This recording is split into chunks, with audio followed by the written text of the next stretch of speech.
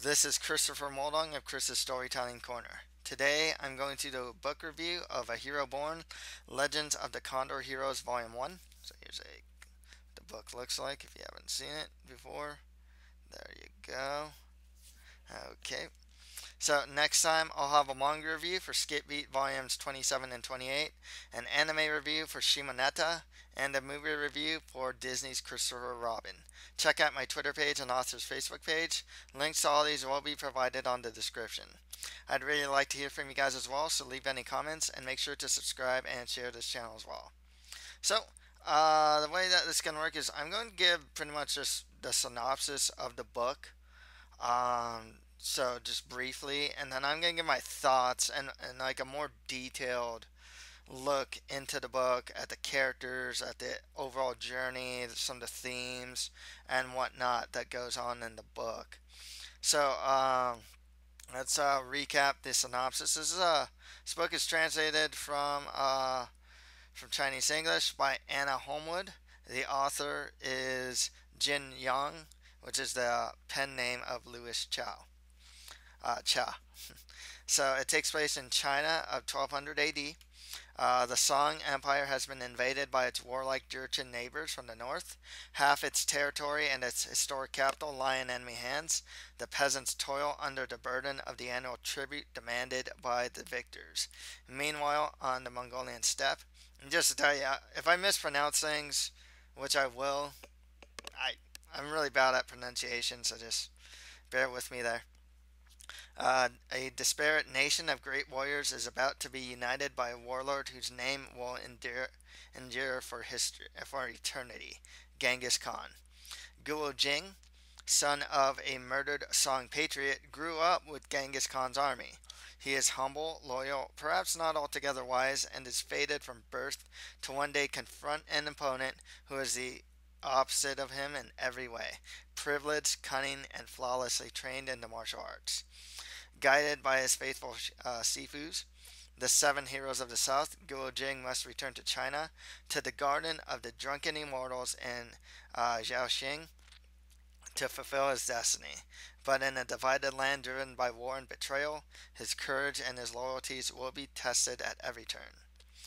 So, before we get into my thoughts, I'd like to plug my author's website at www.chrismuldong.com, and you can read a new blog post on there every week.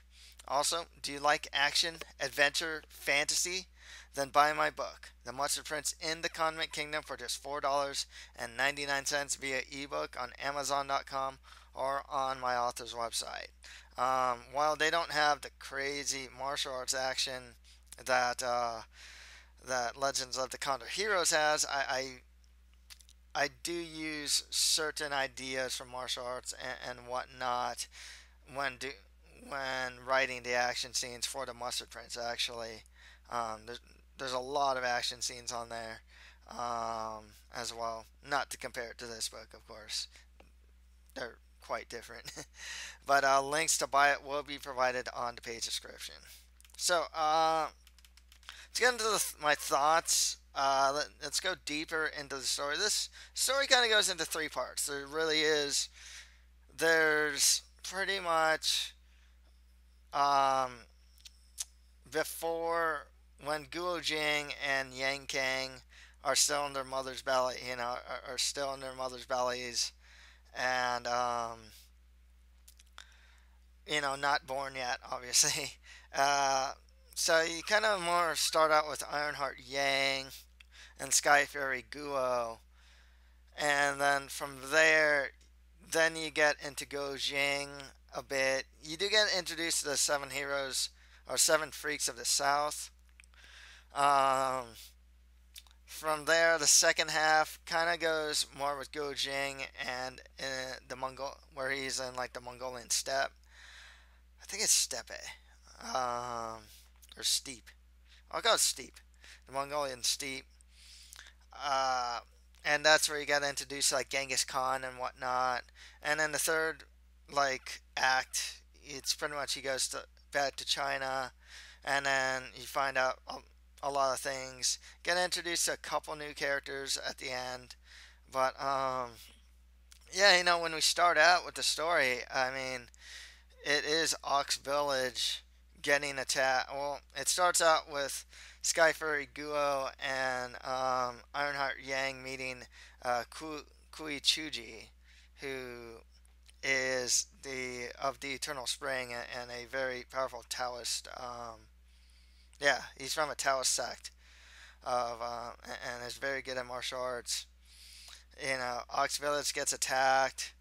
Um, Justice Duan kidnaps Li- Lily Lee, who is the uh, mother of Guo Jing, while Charity Bao gets saved by um, Wanyan Honglie, who she treated wounds for um, earlier. And you'll find out at the end of the book that that was actually just one big ruse. And it just kind of starts there. And, you know, the the characters like Sky Fairy Guo, uh, a lot of them they're they're pretty strong characters. Um, I wouldn't say they're very deep per se. You know, like we know Ironheart Heart Yang. Um, he's a master of the spear. Um, and, and they both fight uh, against the invaders, and Skyfairy Guo gets killed, and presumably Ironheart Yang gets killed. You find out at the end he does not actually get killed, and actually survives. Uh, Justice Duan, who and, and it goes to show some sort of like power relationship too, because it's like you have a guy like a Justice Duan who is in a position of power, but he's a coward, he's a kidnapper, um, he's deceitful, he uses other people, he uses his own family, he uses like his uncle to try and hide out and whatnot. Um, and really, it is just a pretty despicable. Uh, he's pretty much like the villain uh, in, in the beginning. Uh, Lily Lee manages to escape though, and ends up in the Mongolian steep. Uh, Charity Bao gets taken away by Yan uh, Wanyan Honglie, who's actually the sixth prince, Prince of Zhao. Um, and it, it kind you kind of don't see or hear about Charity Bao uh, later on. It, kind of just shifts into Guo Jing and Lily Lee. And then Charity Bao just kind of goes in the background. Ironheart Yang is, presumed dead. And Sky Fairy uh, Guo is dead. Uh, Qiu Chuji is still around, and it's kind of cool because um, we do meet around this time and entering this like this the second act of the book. We are introduced to the seven freaks of the South. Um, there's seven of them. Zhang Asheng, who dies, in, actually dies in battle. Uh, later on, he's in love with uh, Jade Han. Kazan is the flying bat. He's blind. He's known as Big Brother. He's the oldest of the seven freaks of the South. He's kind of like the leader. Uh, using he uses flying devil nuts as weapons. There's Quick Hand Zhu Cong. He's cool. He's like this quick thinking, sleight of hand guy. He's actually really strong. He actually can fight with an iron fan, and he has knowledge of pressure points. We also see like Ryder Han, who is just great. He's super short. I think he's only like three feet. Great with the horse. Woodcutter Nan fights with an iron tipped shoulder pole. He's really strong. And he's one of the primary teachers of uh, Guo Jing. Guo Jing is more attuned to his fighting style early on. Uh, Gildan Quan, who fights with a spear, he, he's kind of like something of like a master of making deals in the marketplace, and Jade Han, who's the youngest, I think the only woman of the seven freaks of the South who's the maiden of the Yue sword uh, technique, and also Zhang Shang is in love with Jade Han. Um, we do get introduced to them. Actually, um, Wanyan Honglie sees them at first, but doesn't really. He just kind of observes them um, but they actually meet up with uh, Ku, Qiu Chuji, if I'm not mistaken. Yeah, uh, if I'm not mistaken, they meet up with him, and, and that's where they devise a contest between him and Qiu Chuji and the Seven Freaks of the South. They meet at the Garden of the Immortal. Um, it's called the Garden of the Drunken Immortal of the Drunken Immortals uh, Zhao Sheng, Uh, they actually do get in a fight. Uh, the Seven Freaks actually fight against them, and it's pretty cool. They don't they don't die. No no one dies, but um, you know everyone's pretty badly badly damaged, and they actually fight in a. Uh, I think they fight in a temple. I, I'm actually going by memory for a lot of the stuff here, just to tell you. Um, I like the Seven Freaks of the South though. Once they actually they once they eventually meet Guo Jing, you know, they're they're good people. Um, they've always seemed to have Guo Jing's back in a sense. Uh, individually, like some of them stand out more than others. Uh, for example, like Zhang Asheng eventually dies. Um, they run, they go up this one hill, and they run into, they see a bunch of skulls being stacked up in a certain way, and then, then that's like, uh oh, like we're in the presence slash territory of Cyclone Mei and Hurricane Chen, who are both the master of the nine yin skeleton claw. They can actually, like, with their with their hands, they can pretty much like pierce their skull if they wanted to. Um, so, but before, th- like they actually fight, uh, we do get to know a little bit more about uh, Guo Jing.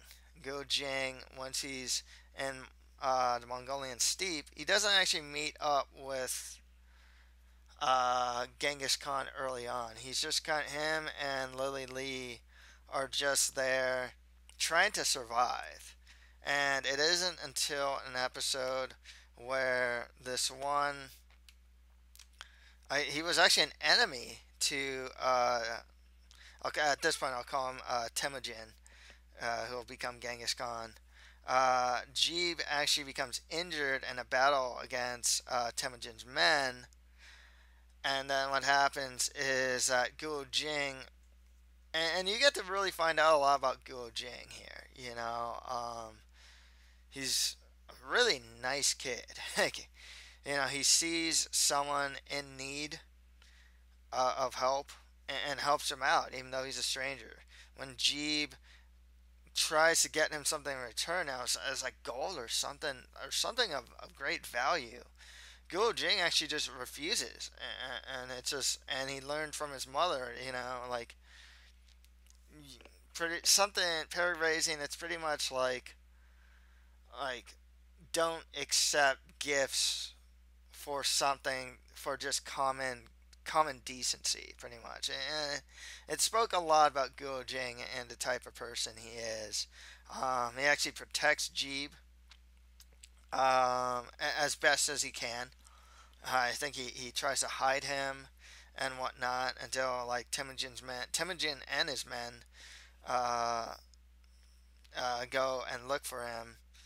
Jebe actually comes out, beats one of Temujin's like commanders, and then Jebe ends up joining uh, Temujin and, and pretty much brings Guo Jing along and that's how Guo Jing encounters uh, Temujin, and also he, he becomes friends with uh,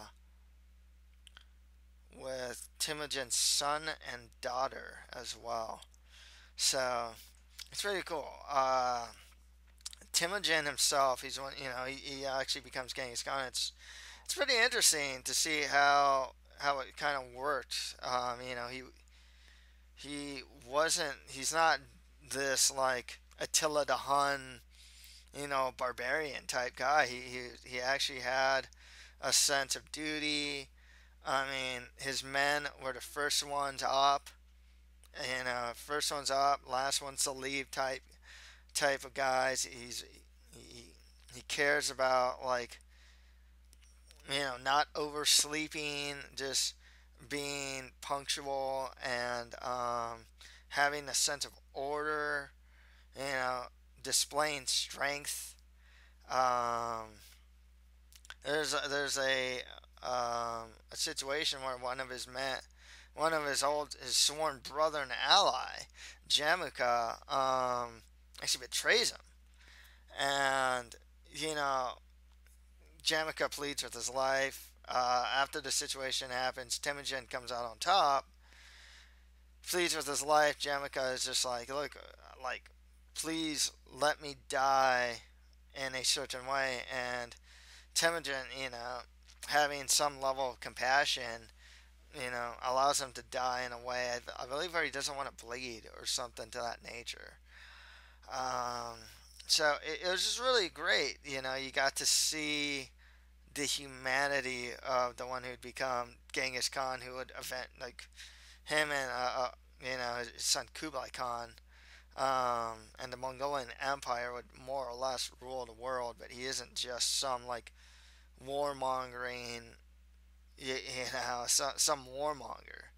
And, and, I thought that was really cool. You got to know a little bit about him. Um, loyalty is a big thing with him. Uh, he's not, you know, he's a lot more compassionate and uh, than than you think he is. That's the thing. Um, it's kind of funny. He doesn't have much interaction with the Seven Freaks of the South. It's a really weird thing because they kind of just hang out on the Mongolian steep, and it's just um, and they just kind of uh, train Guo Jing, and Genghis Khan just kind of lets him, you know. Um, going back to um, Cyclone Mei and Hurricane Chen. Um, so they're pretty much they, they they meet Guo Jing for like the first time and tell Guo Jing if he wants uh if he wants the seven freaks of the south to train with them then go up this like go up this hill and um, that's where they they run into Cyclone Mei and Hurricane Chen um, Hurricane Chen actually gets killed by Guo Jing during a fight um, against the Seven Freaks of the South. He actually ends up going up the hill and wanting to get trained by these by the Seven Freaks of the South. Or with Hurricane uh, with Cyclone Mei, uh, if I'm not mistaken, I believe she gets she gets blinded. If I'm not mistaken. Yeah, by um, I think by the Devil Nuts. She gets hit. I think she she gets hit by the Devil Nuts. It's a concerted effort by the Seven Freaks of the South. Cyclone Mei will actually come back stronger and more vengeful though later on. Later on, but they manage to kind of just outwit her, so they don't have to fight against her. Um, so it's kind of an interesting thing because um, there's a lot of training in the second act where pretty much they're training Guo Jing, and he gets a lot of teachers here. Um, there are also a lot of there are some villains here. Uh, Sengum, who's the son of the Ongkong, who pretty much has bitterness towards uh, Temujin. Ongkong Khan is the sworn brother of Temujin's father, and during that time is kind of like the the ruler of of the tri- Mongolian tribes at that point, and then and then you have like Tusaka, who's the son of Sengum, who bullies Guo Jing and gets betrothed um, to um, uh, I forgot her name, but it's uh, Temujin's one of Temujin's daughters. Um, so uh, eventually that whole incident though with Sengum and Tusaka kind of gets resolved and, and whatnot. And then um, pretty much Genghis Khan or Temujin becomes Genghis Khan. You see that. But um, like I said, um, Guo Jing during this time gets a lot of instructor, instructors. He has the Seven Freaks of the South. But then also, um,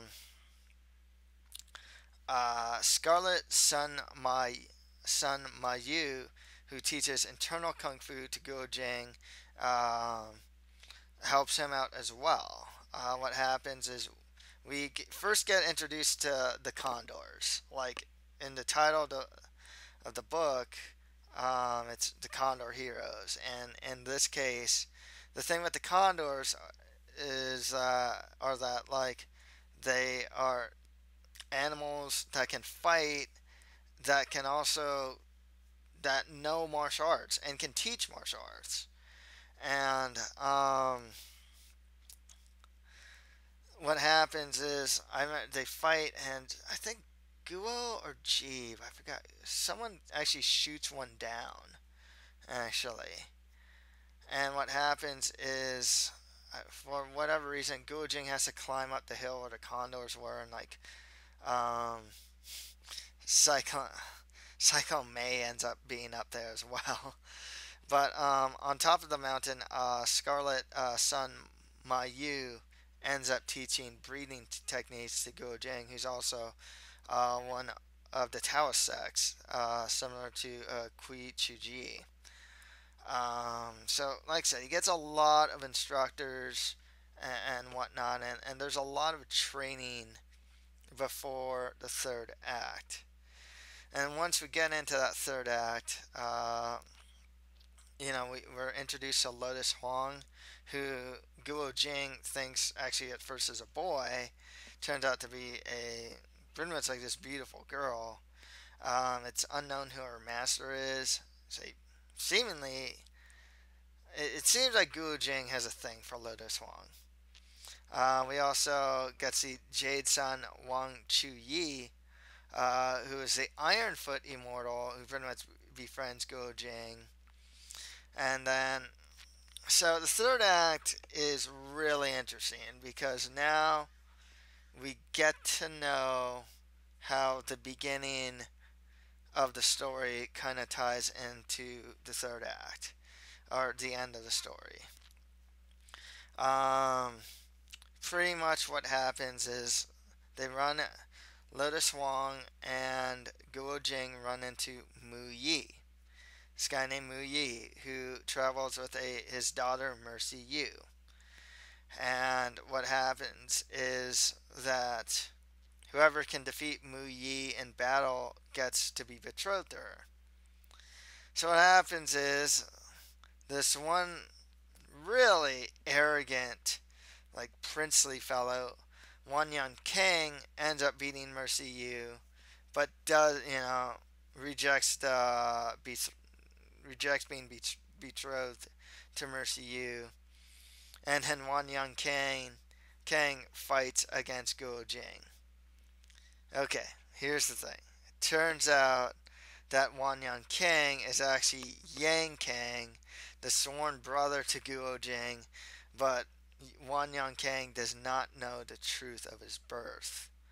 Um, he's also led to believe that his father is Wan Yang Hung Li.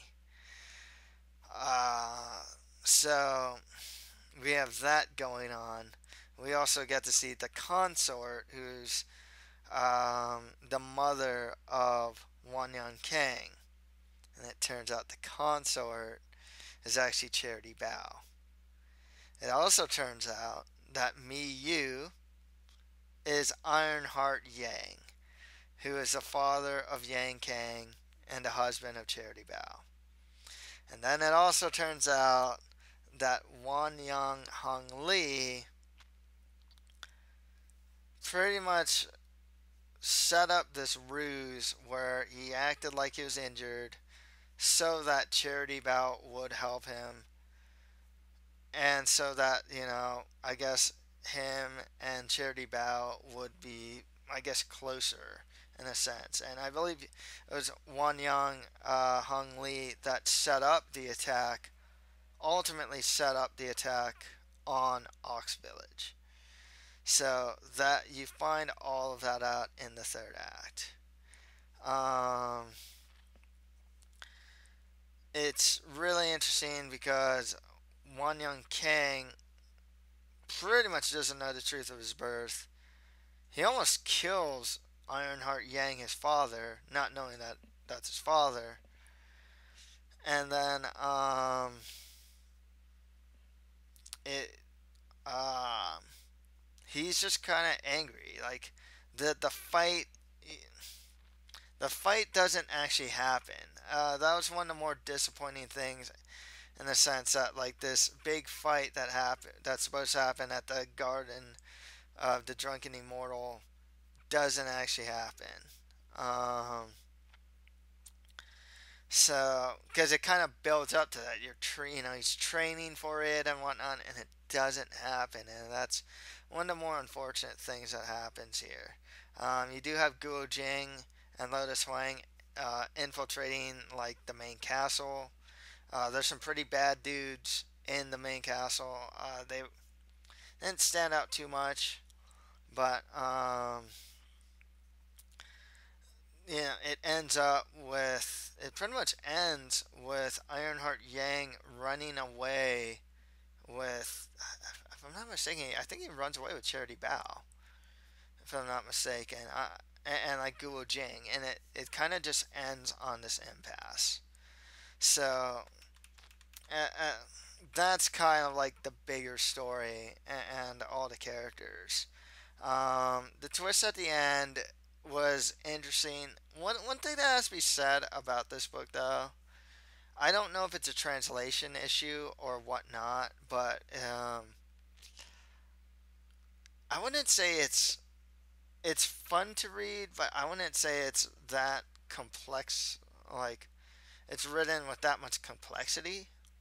They kind of a lot of time, and it could be a translation issue. I don't really know, but it like all of that stuff, all of these twists at the end, the the narrator just kind of tells you, oh hey, um, Mu Yi is really Ironheart Yang, and Wang Wanyan Honglie made up this whole elaborate plan. It's like it, it just kind of explained to us by the narrator, just kind of in a blase type of manner.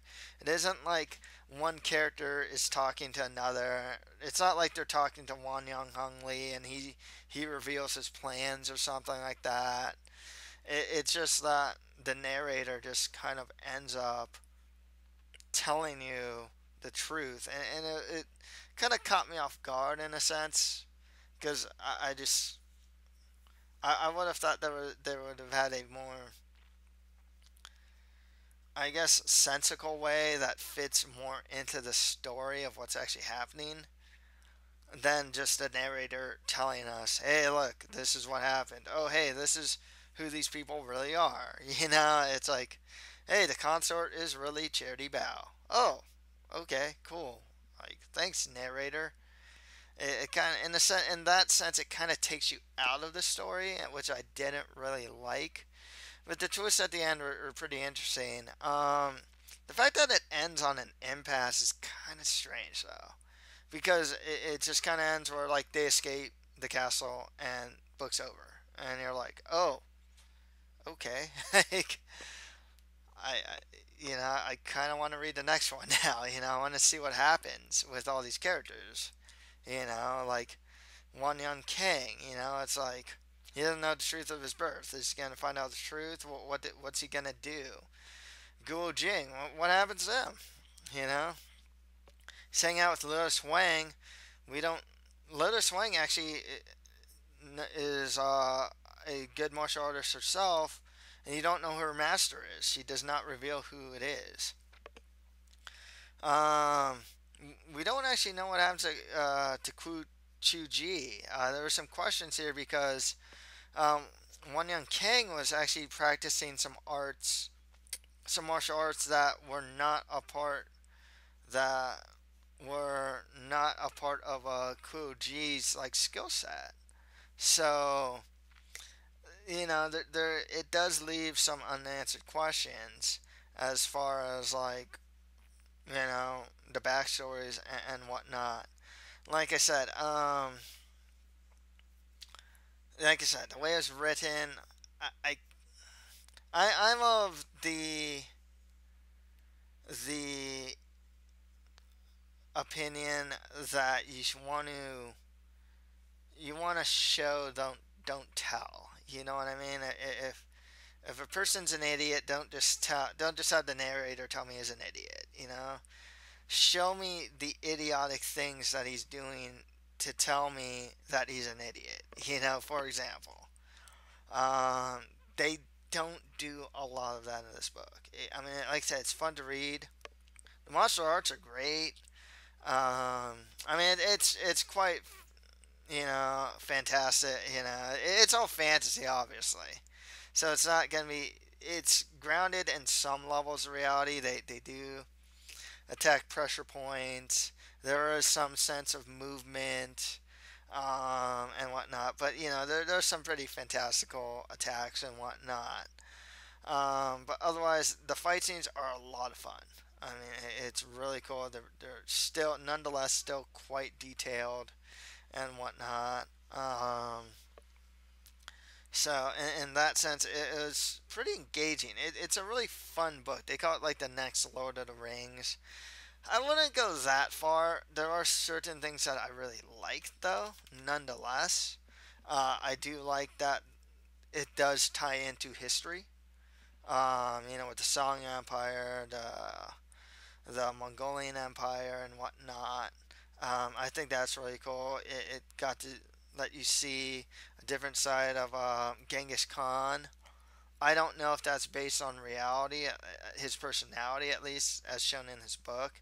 I would imagine that some of the, the settings and whatnot, um, and some of just the tribal hierarchies and, and whatnot, were closer to reality. It, it, it seems like. Uh, I'd be surprised if a lot of that stuff's just made up. Um, so yeah, you know, like I said, it was it, it was really fun. Um, I'm, I'm looking forward to what's next. You know, there, there is that budding relationship with Guo Jing and Lotus Huang, but like, you know, Temujin's daughter also has a thing for Guo Jing too.